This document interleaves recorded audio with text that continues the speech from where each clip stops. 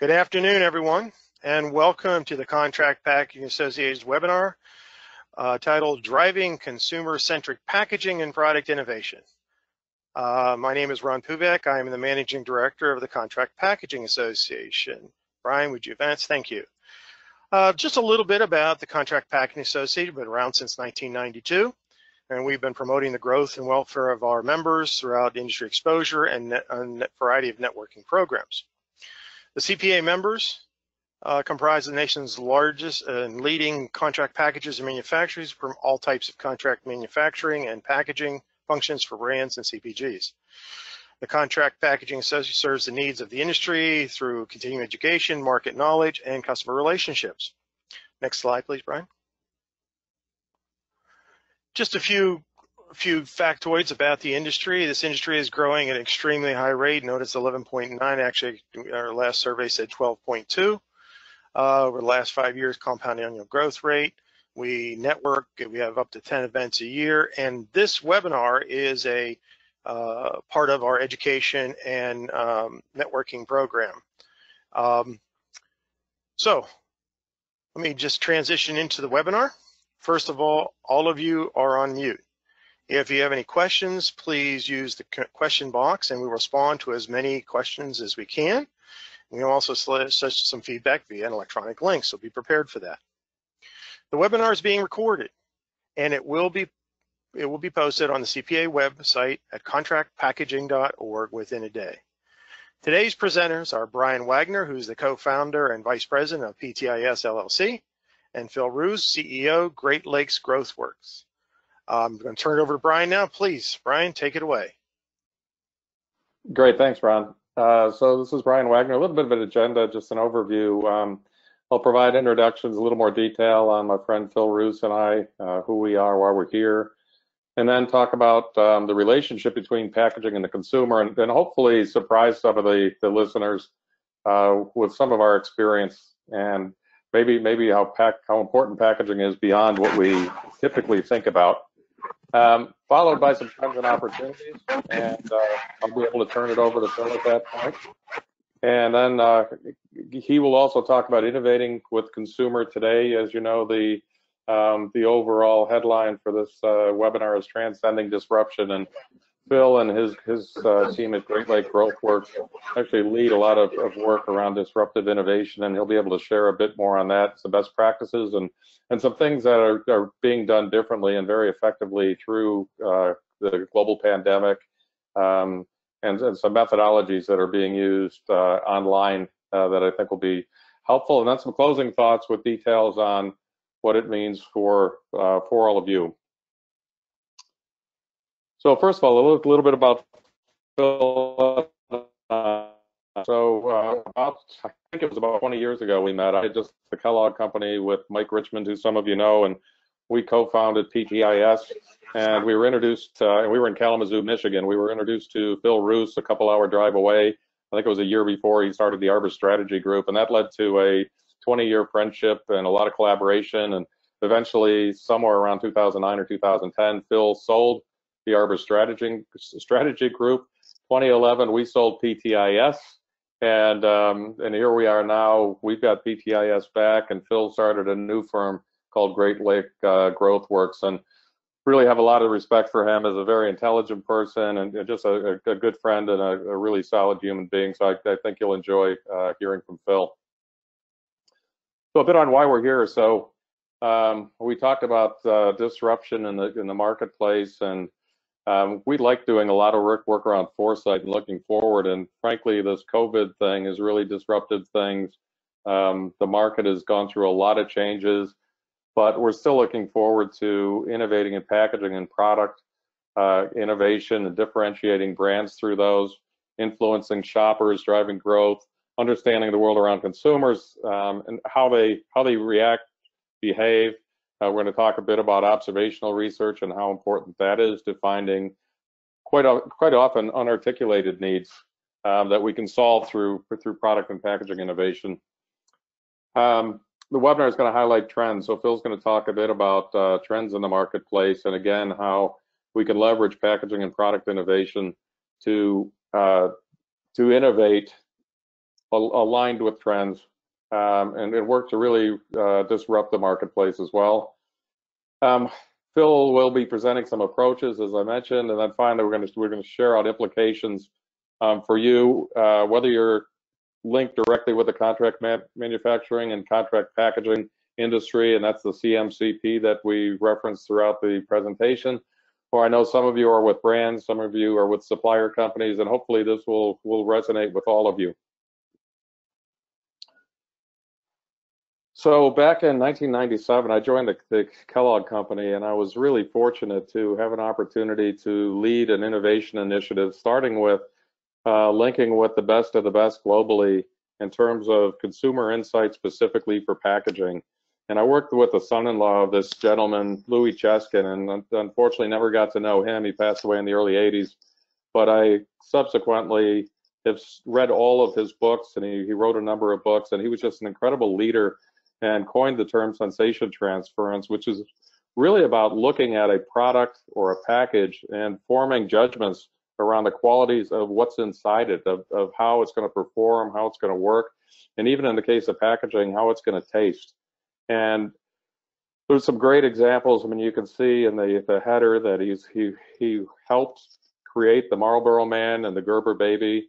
Um, he was responsible for the Tide box, the, the black swirl on the orange background, and even launches of Ford, the Ford Mustang and Lincoln Continentals, all of which were great successes and all of which um, leverage sensation transference. So when you saw features and attributes of a design, you connected that with how the, you expected the product was going to perform. One quick example, really, in the in the packaging world, one of my favorites goes way back when probably people drank more brandy, frankly. But um, the leader in the area was uh, E and J Gallo. Uh, they had the the number one brandy. Christian Brothers worked really hard to develop an, an equivalent or better brandy in terms of blind taste testing. And then they put it in the bottle, then they put it on the shelf, and they couldn't get out of the bottom slot in the marketplace, and they couldn't understand why. And so Louis Cheskin got involved, and he he put the Christian Brothers brandy in in, in the E and J bottle, and vice versa. And sure enough, the Christian Brothers brandy got better taste test, test results when you could see the package and when you could see the brand. And then they started to strip, strip away the features. They took off the labels. Uh, they did a number of different things, and finally found out that the the thing that made the big difference and I'm not sure these are the same bottles at the time, but the thing that made the difference was the Christian Brothers brandy had a bottle that was more like a wine bottle, which was perceived to be inferior to brandy in terms of the product. And so they all they did is change the silhouette of the bottle, went back to the same branding, the same color, and they took over the number one slot uh, ahead of E&J Gallo. So it's, it's it's amazing that packaging, amazing to me and a lot of people that packaging can have a huge influence on even the flavor of a product um, in terms of perceptions. So Phil and I actually, when we met, um, he had he had just acquired, just started the Arbor Strategy Group and acquired a collection of what we called new and once new products, and he he branded the collection as New Product Works, and he acquired it from a mutual friend, the late Bob McMath, who was just a, an amazing guy, and it started this collection something like 40 years earlier. Um, when you think about hundreds and thousands of products that are launched every year, in fact, it's in the tens of thousands launched every year um, in the United States. Some of the research shows that 90 or suggests that 90% fail within the first three years. Um, there's some other research that says that most product life cycles are only three to five years long. And we know that the contract packaging and manufacturing industry uh, is is is playing such a huge role because the big brands can't afford to to build brick and mortar uh, factories anymore. And so being able to test and learn is such an important part of our, our industry in the, in the food and beverage and consumer product industries. So a couple of these examples um, that come to mind, and, and, Bob McMath was on almost every major network. He was on the Tonight Show. He took these stories and they were they were so entertaining for people. But uh, Frito-Lay lemonade was actually a product at the time. Um, it didn't last long in the marketplace. Excuse me. Clairol launched a touch of yogurt shampoo. People actually thought it was yogurt, not shampoo, and they thought they were supposed to eat it.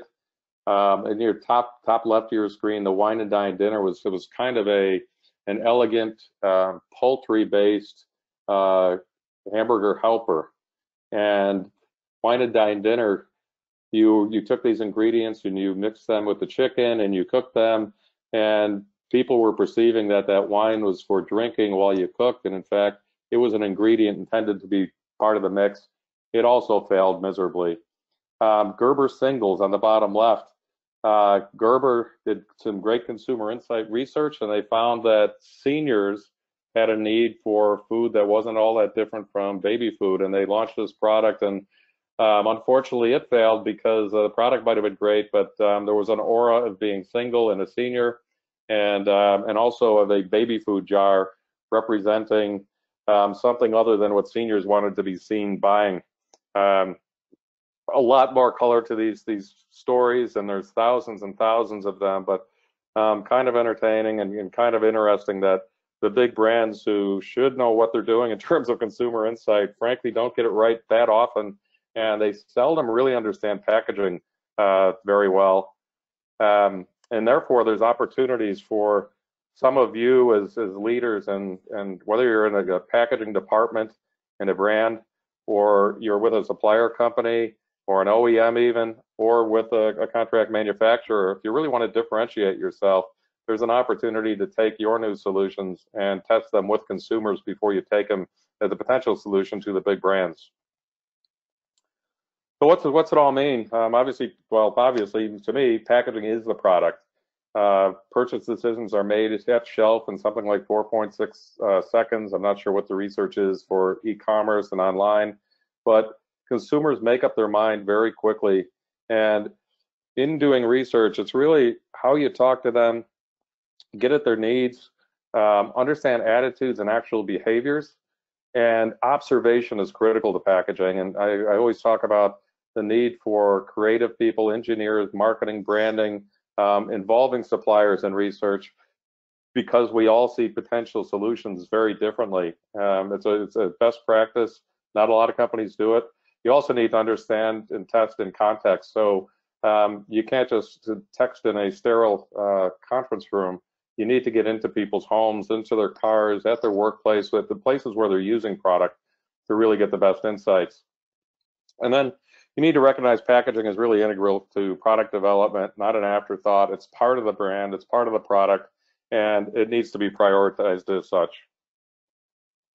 With that, I'm going to turn it over to Phil Roos, my good friend. And uh, Phil, hopefully we got volume and you can take it over. Yeah, this will be the moment of truth. Uh, hi, everybody.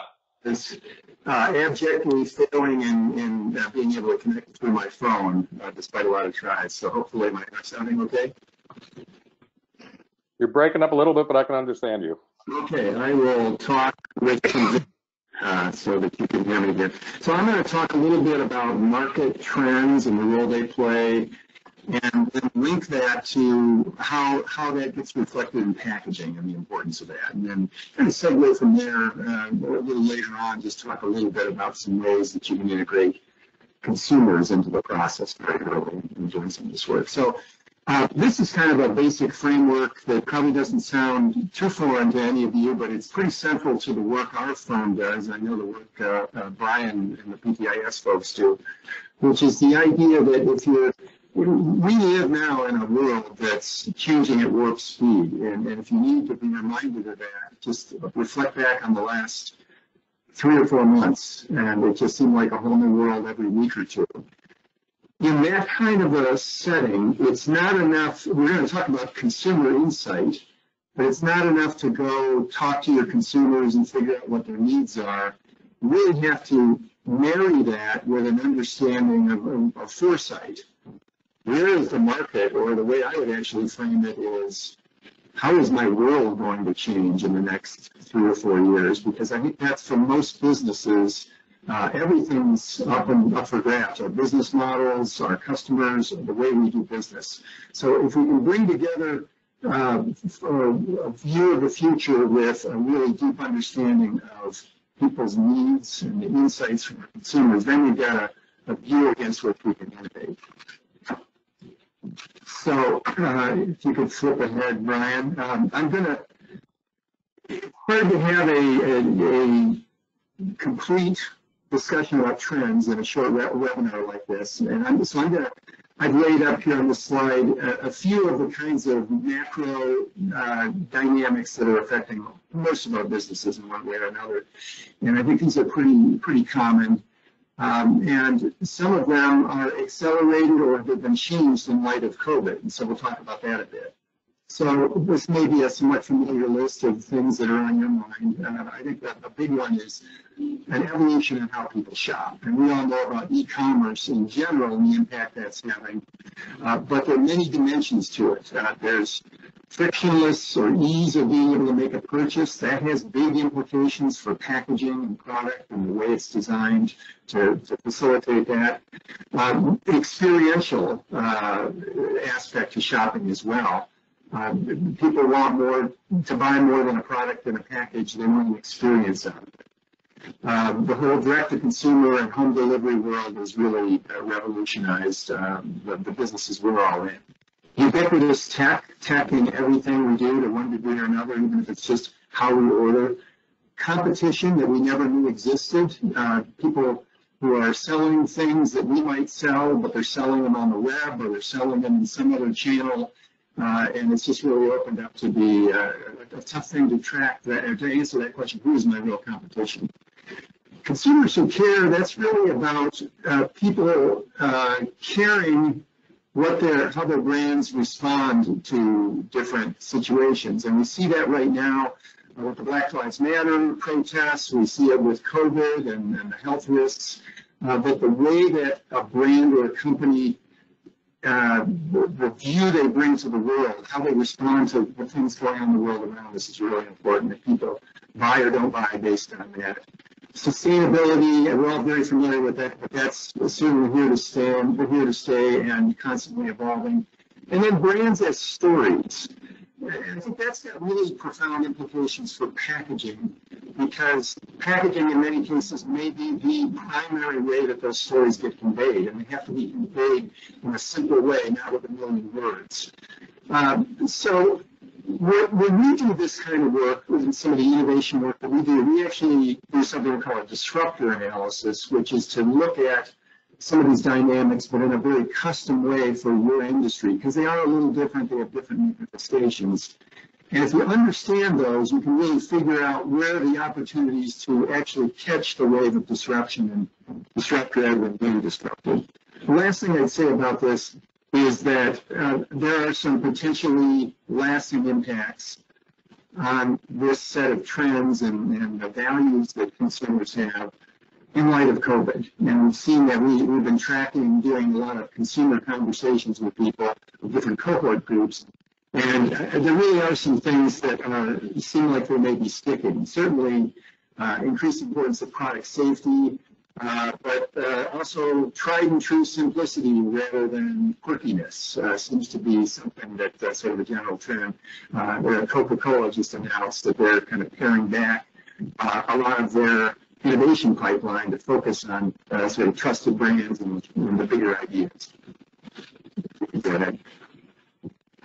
So if we start with that uh, foresight, then we have to match that with insight if we're going to get a view of where there are real opportunities and actually threats for us going forward.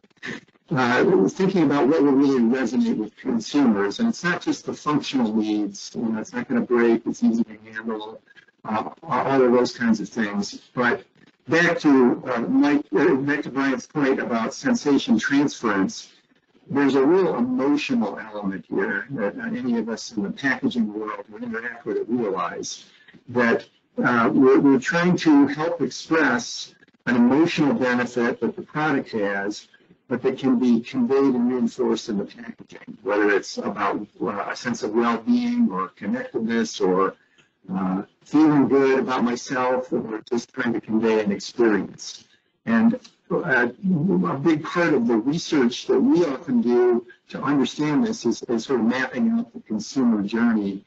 Uh, how do they get to making a purchase decision? What are the influences? And we very much, we are very often find from that uh, some important emotional drivers that uh, need to be conveyed in whatever new products we're bringing to market. And uh, lastly, in this section, section, I want to just give an example or two of uh, packaging linking to consumer trends, if you don't mind advancing that, Brian.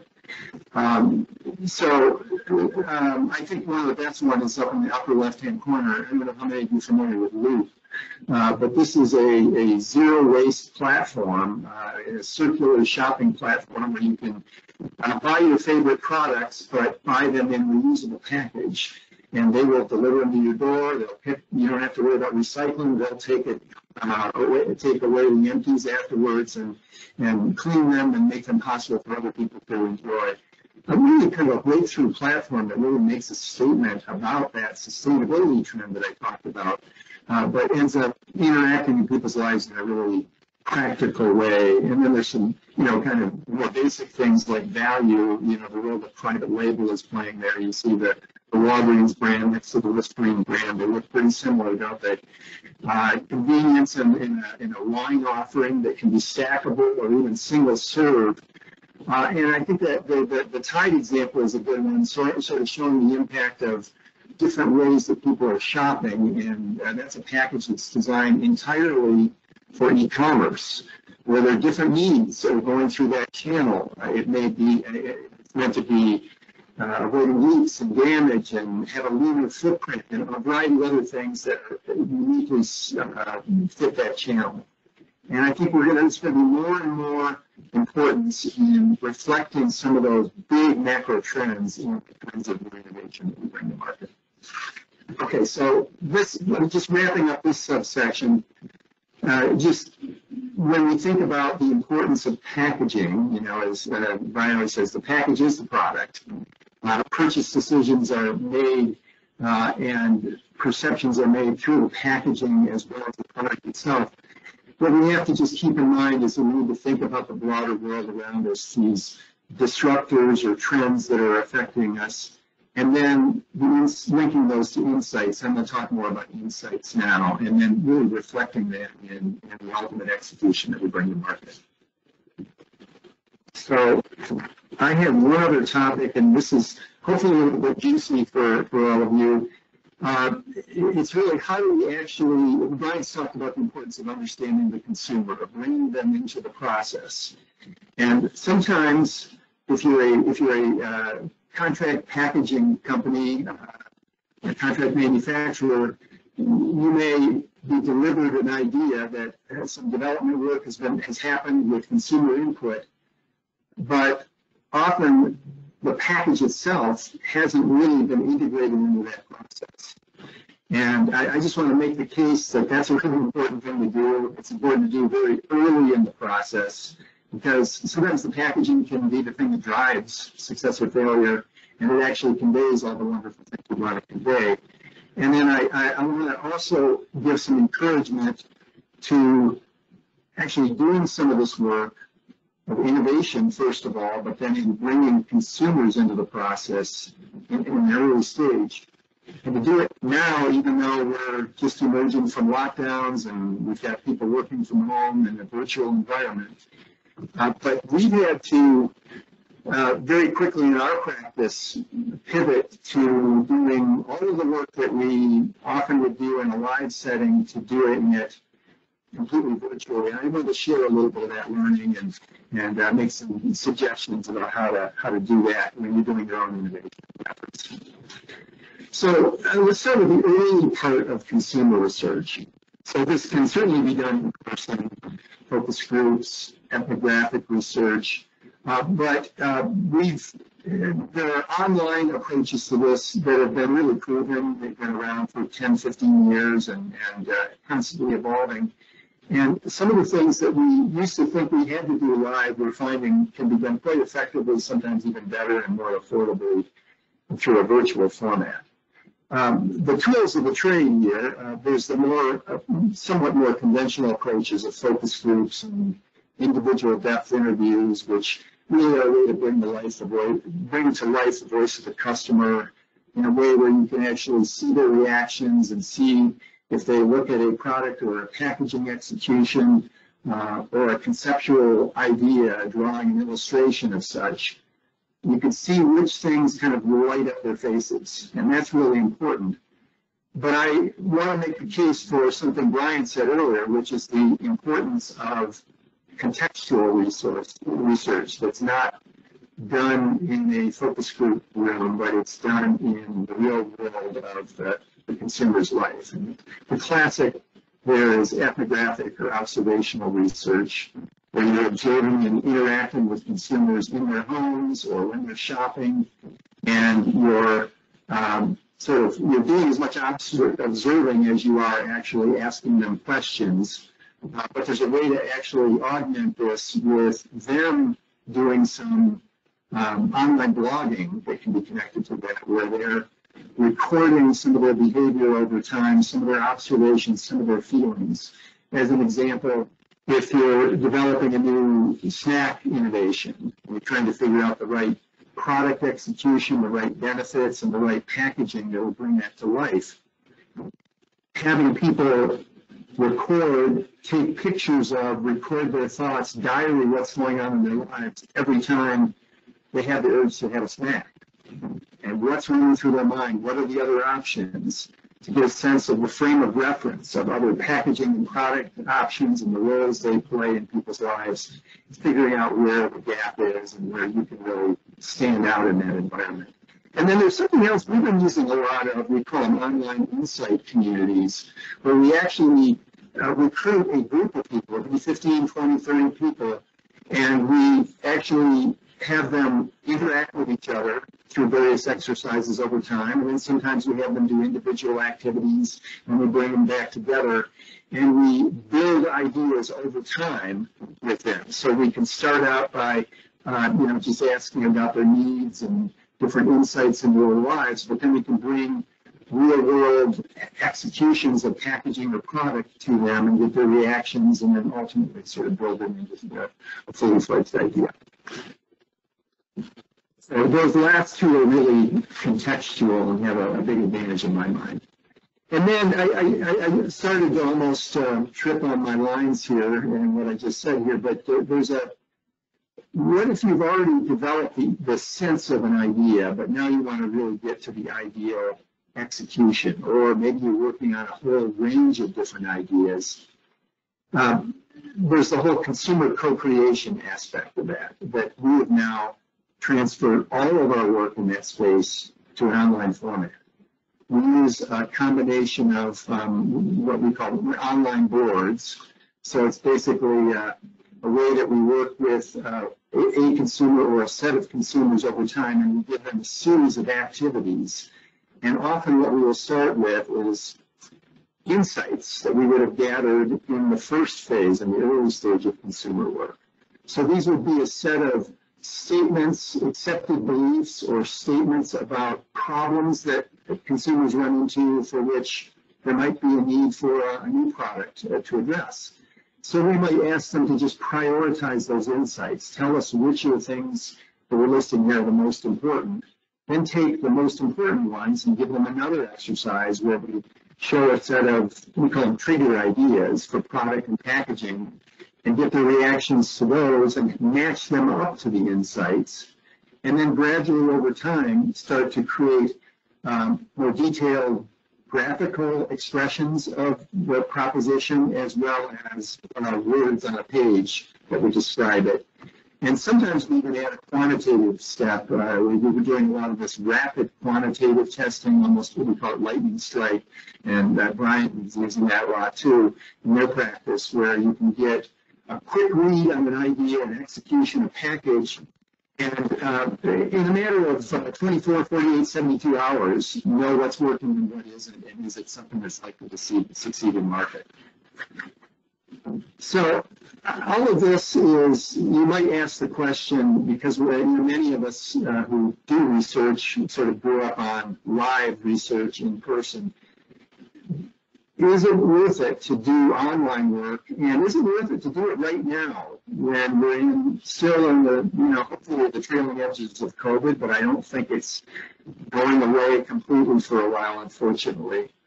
And I think there's there are a number of reasons why this is a really affordable, agile, and very useful way to get consumer input into whatever development efforts you might be doing on your own or conjunction or in conjunction uh, uh, with uh, branded partners uh, or retailers or others who are uh, bringing these to market. Uh, online methods are tried and true. We've been, as I said earlier, been around for a long time and they work. So that's one reason why they can make sense. Um, they may not solve every part of the puzzle, but they're an important piece of the puzzle. And, and, and generally, it's that contextual piece that Brian was talking about. Uh, and not have to go through all this, but, but um, I would, in sort of the fourth bullet on this page, I wouldn't underestimate the value of talking to consumers right now. I've heard some, some of our clients who have said, gee, I don't know, I don't want to talk to people when they're not themselves, when they're holed up at home and when they, they may not be telling us things that will be reflective of what's happening in, in the real world. And certainly there's a little bit of filtering out of what they say right now. There, there's some things that are just about the here and now. But in the, in the sessions we've held, there are some clear things that are um, going to stick. You know, I mentioned some of the safety and sanitary kinds of considerations, wanting a lot of product assurance of quality and integrity that there may be uh, were, were was top of mind a few years ago or pre-COVID. But also what we find in the COVID environment, when people are holed up at home, some things that were small, kind of latent needs, problems, become really big when you're in a limited environment. And I think it's really uh, actually an excellent time to go out there and find out what some of those are and be on the leading edge of addressing them as we move out of this. So I, bottom line is stay connected to your, your consumers and the end users of some of your products and packaging. I think that's really important. And last thing I have just listed here, you don't need to go through all this, but uh, there, there, are some kind of best practices in terms of online research and approaches. I've kind of covered this already, but um, this just kind of uh, talks about some of the differences and the advantages and disadvantages. Um, and I, I, think we've sort of covered that already. That insight, focus groups, or depth interviews, that's really would be the ability to see people's expressions. Uh, and, and the nice thing about doing this now is people have time on their hands. I know people are beginning to return to work more so in some areas than others. Uh, but there are a lot of people at home and they are ready to talk. And so it's a, an opportunity. It's actually a lot easier to execute um, a smaller larger scale consumer research effort now than, than before. And then digital ethnographies and insight communities, as I said, uh, that's really about getting to the contextual elements, the real world of people's lives in their homes as they shop, as they go about their day-to-day lives. And there's some guidance in all of these. Um, we would do things a bit different than you would in a live setting. For instance, in a focus group, we wouldn't do an eight-person focus group generally. We do three or four people, maybe five at the max, uh, just because of the complexities of um, dealing with the technology. Uh, it's hard to have a free-for-all with lots of people talking at the same time because you can't hear any of them. So you can manage things like that a little bit better with a smaller group.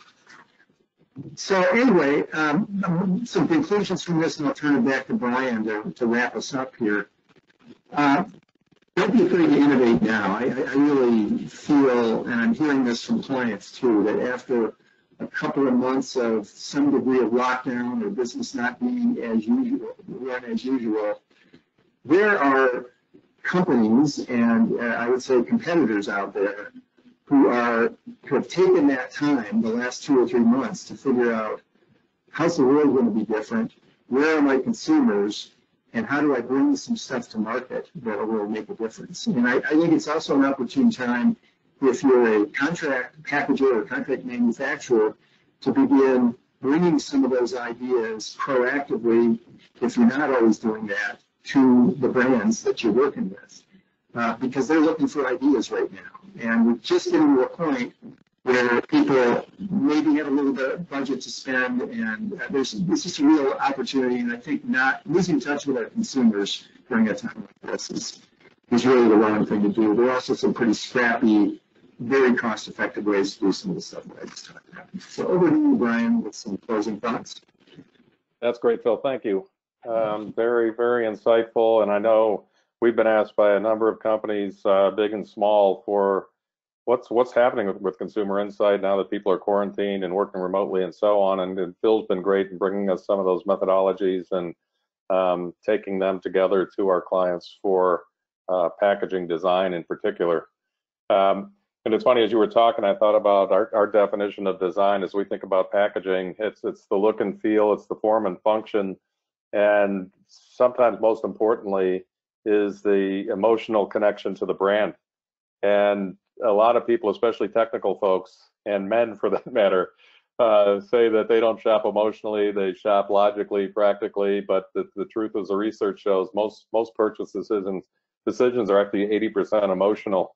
Um, and that this brings us to that a little bit that you know we we look at value and how do you communicate value through packaging and package design and uh, the the value is equal to benefits over cost versus a competition. Well, cost is always easy to quantify and easy to focus on, but the real and perceived benefits that packaging can communicate and deliver about the brand and about the product are really crucial. Um, they tend to be emotional. They tend to be about things like, like relevance and differentiation. Um, delivering portion control, communicating uh, the brand the brand message as a brand asset, uh, emotional fulfillment. They're all all very difficult things to quantify, and business decision makers love to quantify things. But frankly, the most important things that go through the consumer's mind when they purchase are emotional and, and not always quantifiable. So it's an important thing to keep in mind uh, when doing research. So what's what's it mean for uh, contract manufacturers, contract packagers, and also everybody in the along the value chain? Um, we know that uh, packaging influences consumer product perceptions, including things like taste and flavor. Um, it's a critical asset, and uh, contract manufacturers, contract packagers can help deliver the brand promise. Brands want new solutions and value. We hear it all the time um, leading contract manufacturers, contract packagers, packaging suppliers should monitor consumer trends. If, if nothing else, monitor consumer trends and what's happening with them. Uh, there's plenty of journals, there's plenty of sources, webinars to understand what's happening with consumers and maybe how you might be able to differentiate brands in the marketplace. And we've worked with some to even conduct their own research. Um, we've had some bring a major brand to the table with them. We've done work with Phil's firm and uh, and brought them together and, and, done work to identify new package opportunities, new opening features, formats, sealing technologies, a number of different things. Um, and, then the leaders are doing that. But also, uh, we we believe suppliers and we we know some who ask to be involved in consumer research with the brand owners. The answer is not always yes, um, but also to see research. So when brands go to their contract manufacturers and they say, you know, we're really, we'd love to put this, whatever this thing is, a new ingredient, say in a small pouch or a small sachet, and it should really be a unique and novel touch and feel and, and look with a great uh, convenient opening feature. Um, quite often and way too often what happens is the contract manufacturer, the supplier says, well, we can't do any of that. Here's what we can do and the bring, big brands settle for whatever that solution is that can be manufactured today. Um, we really see an opportunity to not just be an order taker, but to push back on them a little bit, take this insight, and look for ways to modify your equipment and your materials to deliver what the insights really, really pulled out. So that, you know, probably the brand owner tested a concept that was a brand message, it was a specific product, it was in a package, it really should stay in that package and not change to something else just because a contract manufacturer can make that something else. And we see collaboration in everything we do is key. If you want to get to market quicker, don't try doing it yourself. Um, whether you're an OEM, material supplier, converters, even universities, uh, associations like the Contract Packaging Association, um, CMCPs, everybody solves problems in new ways. Everybody brings something unique and different to the table. And the more you can collaborate, the more you're going to be be successful. Uh, and then finally, products fail for many reasons. That 90% number I shared earlier It can be bad messaging. It can be one word in an advertisement. It can be a bad package that wasn't the package that was tested. It can be a flavor wasn't quite uh, what they what was tested in a uh, in in, the, um, in a, a, blind sensory test, and then all of a sudden you put it in a different package, and it changes the perception of how that that performs. It can be so many different things, but our our job is to help you and help companies to be successful and improve improve the success rate. Uh, Procter and Gamble, I think, has been quoted as having a 55% success rate. So 90% average doesn't apply to everybody. There are some really positive exceptions out there. And that gold standard that gets tested in consumer insight testing should be a gold standard that goes into a design brief, a product brief, and a marketing brief. And that's that's again the look and feel, form and function, design, emotional connection to the brand. So with that, Ron, uh, we'll wrap up, and um, certainly uh, Phil and I can take any questions. Hey, great. Thank you, Brian. Thank you, Phil. Appreciate this. And by the way, there's just an observation. There's a lot of agreement appears to be on the go to the consumer now and get the insight that, that now is the time to do that. So that's positive. And Phil, just to minimize the sound issues, I'll mute and unmute you if you don't mind during the conversation here. But we do have a good question. What are some of the leaders with respect to the understanding and using packaging to create new experience and solutions with packaging? Who wants to take that one? I'll go first right. since I'm unmuted. Okay, go ahead. That's okay. Yeah, we, have actually done a, a, fair amount of benchmarking and best practice work around this. Um, excuse me, I mentioned Procter & Gamble. They, they've been a leader for a long time. They really see packaging as part of the integrated solution in every one of their products and their whatever they have 20 or 22 billion dollar brands. Um, we hear uh, Nestle's name come up, Unilever's name come up.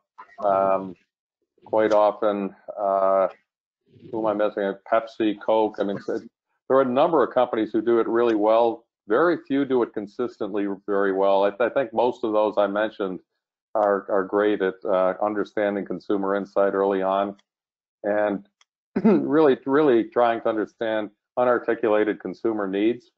And um, well, one of the best practices, and again, I think it's Procter and Gamble, is that on every one of their leading brands, uh, we're at least told that every 18 months they go back to consumers and they test the relevance of, of their design, their package design. And if for some reason a color needs to change a little bit or a wording or a structural change, they make those changes very subtly so as not to disrupt what's in the consumer's mind. Phil, any add-ons? You listed everybody that was on my list, uh, but I, I might just talk about what is more the norm. Uh, and I, I, think that is uh, packaging being tested, we're talking specifically about packaging, packaging being tested uh, late in the process. I mean, even some really big name companies that uh, you would recognize and think of as being at the high end of professionalism. Uh, unfortunately, that is something that tends to happen. I, I think that's actually an opportunity for uh, the, the, membership of this association because uh, there may not be a function that really allows packaging to get involved early. And in all the work we do, is that's like part of the very first conversations, even the insight conversation. I think that's that's what's really needed, and and uh, uh, there may be an opportunity to fill some of that gap for even some of the, the larger brand partners. Great, thank you. I have an interesting one here.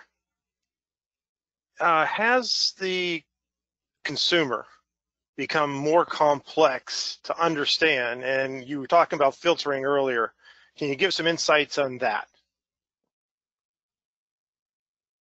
Phil, I'm going to give you that one. Has the consumer become more complex? Yes. Understand. Um, Wow, uh, that's a tough one to answer. I, I think um,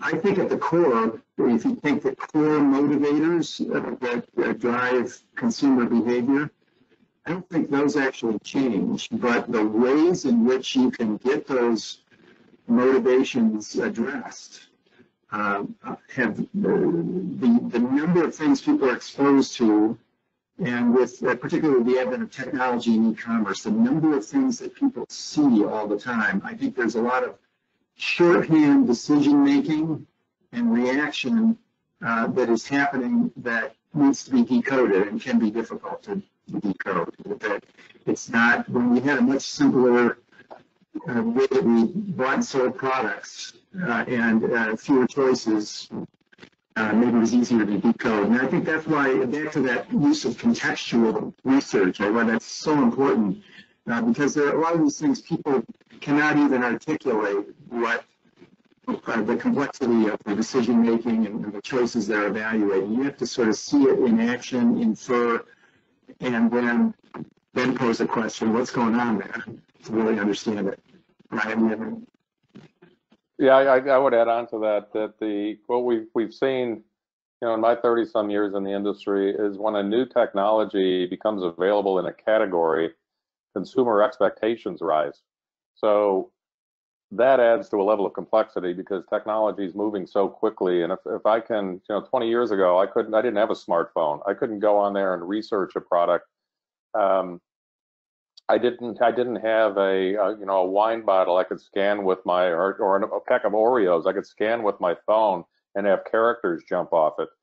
Um, you know, 20, 20 or maybe that's 30 years ago, 20, 20 years ago, uh, putting a zipper on a cheese pack, all of a sudden the entire shredded cheese category had to put reseal features on.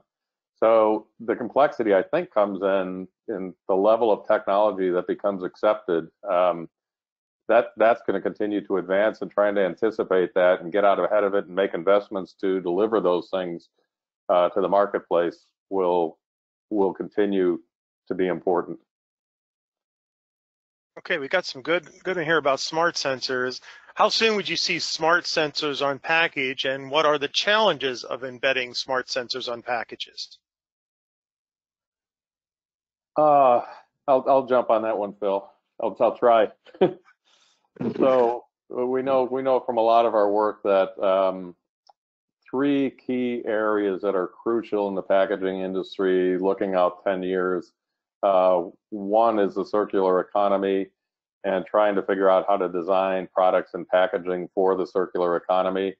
Um, not thinking thinking about disposal at end of life, but in, in reuse. Um, Another one is e-commerce and direct to consumer. It's not going away. It's creating another level of complexity. And then the third one is the Internet of Things or the Internet of Packaging, which has a lot to do with, with building sensors and um, it's already being done quite often. It's it's being done for those novel reasons, like you know I can look at a wine bottle and and see the criminals uh, jump jump into my phone, or uh, a character jump off the Oreo pack.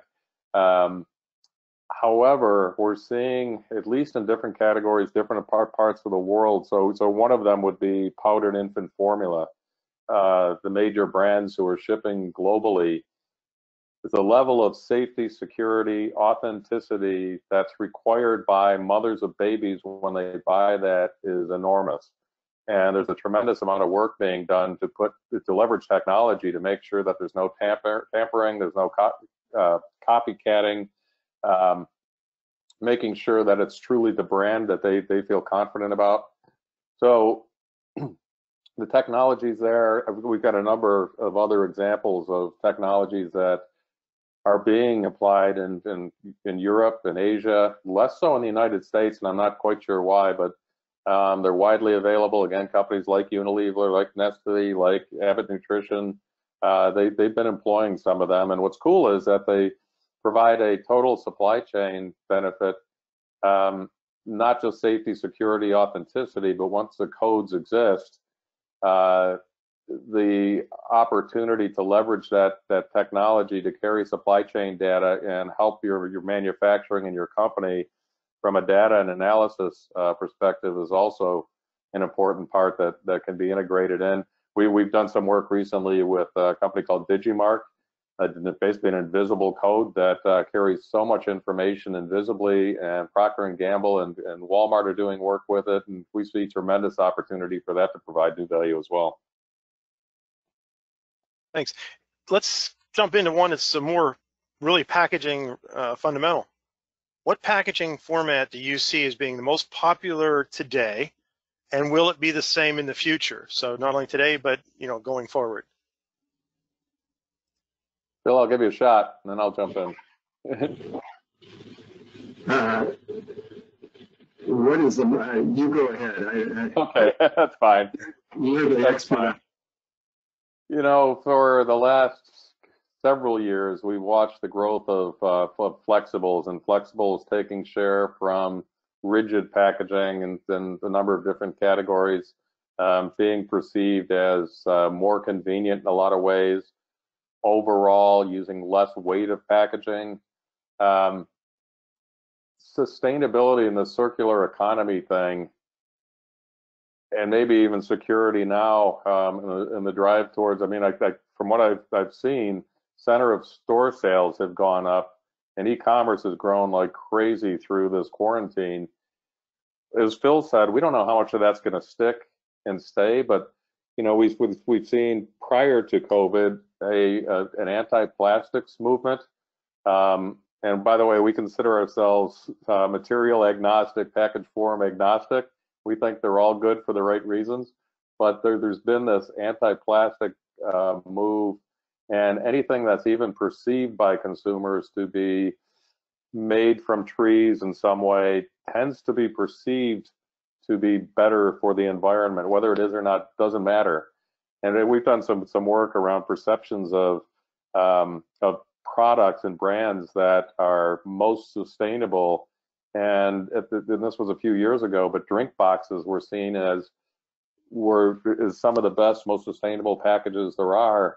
And when we dug into it, we found out even though there may be seven layers of material, it's the paper on the outside that made the consumer believe that they were better for the environment. So that's a tough one, Ron. I, it's I'm not sure where the growth is going to be, but I I think with the, push on circular economy and the fact that we're going to have, you know, the world's going to be a billion people bigger before too long, and resources are limited, we're going to continue to have to make really smart choices and just do what's right, whatever that package format is.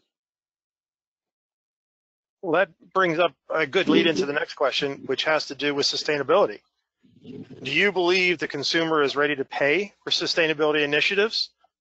And you just kind of touched on that in a bit. Um, I'll say something at the beginning here. Uh, I was going to comment on sustainability and, and saying that uh, I just, what you said about circular economy, I think if you take the long view on this, uh, we have no choice but to have a pretty significant conversion to natural materials and to things that uh, fit into a circular economy. Um, will people pay for it? Um, not so often. Um, I think that some of this may need to be, it may be uh, mandated, it may be through pressure brought on corporations and brands to move in that direction. Uh, that may be what drives it. Uh, you'll have some folks who pay a little extra, but I think we've all seen that the, people's interest in that kind of thing compared to what they're really willing to pay for it, are two different things my.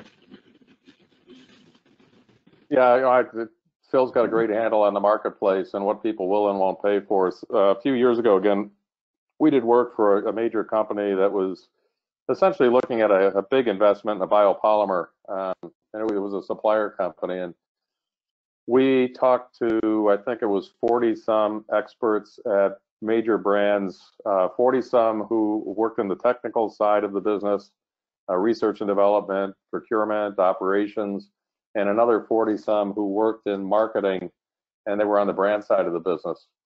And we had to go to them and say, okay, so this would be the concept. You could put X amount of this biopolymer into your new package. And they uh, would ask, you know, what, what would it cost extra? And we'd say, well, there would be an increase in, in the cost.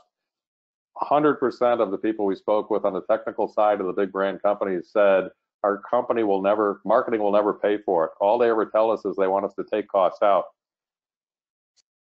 Over 50% of the of the experts we spoke with who work in the brand side of the business said we would definitely pay more. It would allow us to make a relevant claim in the marketplace. We would either increase the cost of our product or we would we would take the risk on reducing our margin because we're looking to differentiate our our brand and that would be something if we could make a, a, a reputable claim that we would consider switching to. All right, I think we're going to close out with this one because I think this is going to give you the uh, the big bell here. So, what are your thoughts on the consumer in a post-COVID world, the changes, the direction of the future?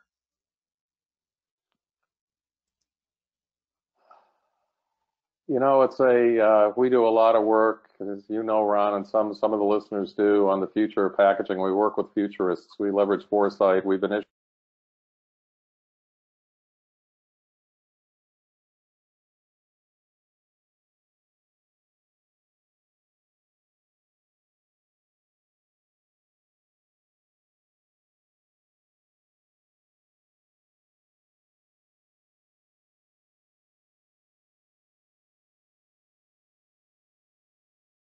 we are making changes. We know that consumers are experimenting more than they have in ages.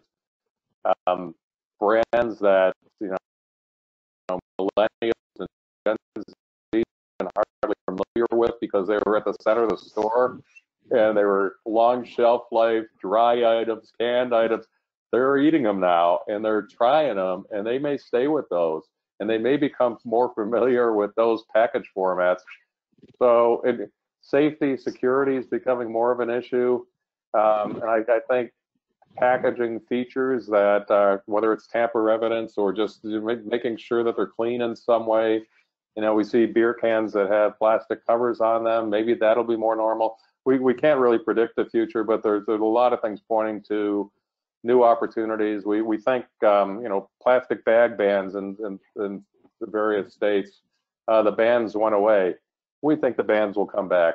As Phil said, we've got to we've got to think take the long term view and really look at uh, what kind of things need to stick and what kind of things will will go back to and and e-commerce will not go back uh, to the numbers it was at. They've accelerated and and we're getting more accustomed to um, home delivery of of groceries, food, and we need innovation. I, I think innovation will be necessary and will drive uh, new solutions in all of those areas I talked about, whether it's e-commerce or um, circular economy or the Internet of Things.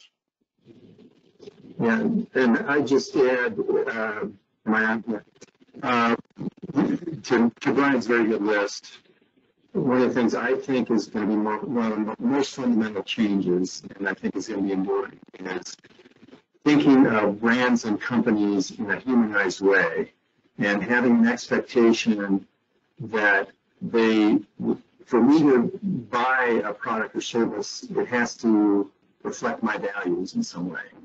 I think we're seeing that the role of brand as advocate is, is much bigger than ever was. Um, and and that, as I said earlier, I think that really puts a lot of uh, responsibility on packaging to help reinforce that and help convey it. And I think, uh, you know, demands for transparency and understanding um, materials and everything else uh, that goes into a product or service, but also um, just the gestalt of what is this, the totality of this brand represent, and does it fit with who I am as a person, rather than a more transactional kind of feel. I think that's a big deal going forward. Agreed. Gentlemen, we've gone to our time. We want to thank you. You guys never disappoint. Uh, again, reminding everyone who's on the call, the webinar will be up in a day or two on the contract packaging website. We'll issue a quick survey after this is over. Please answer it. And thank you all for attending. Thank you, Brian. Thank you, Phil. And everybody have a great day.